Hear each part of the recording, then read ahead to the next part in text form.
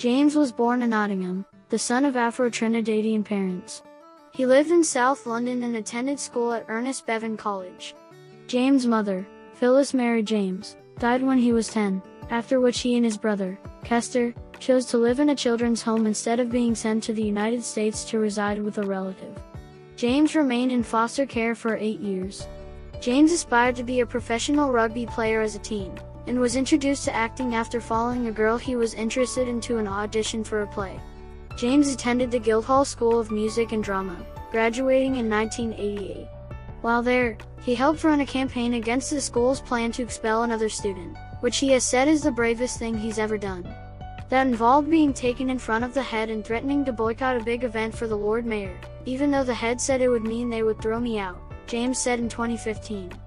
He was once employed by the British government's Social Security Office. Lennie Michael James is a British actor, screenwriter, and playwright.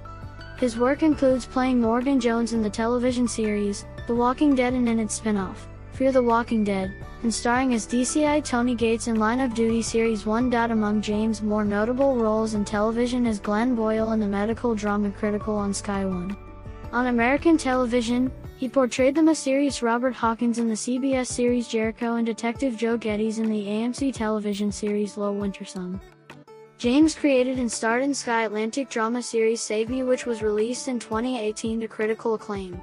Its second season, titled Save Me 2, won the BAFTA TV Award for Best Drama Series 2021.